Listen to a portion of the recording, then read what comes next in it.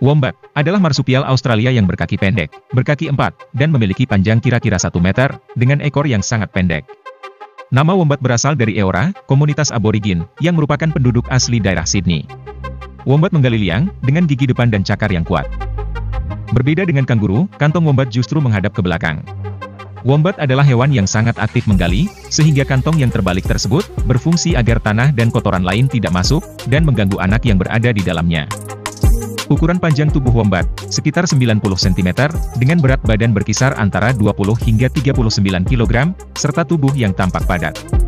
Dengan penampilan ini, wombat terlihat seperti hewan yang pergerakannya lambat. Namun, jangan dulu tertipu.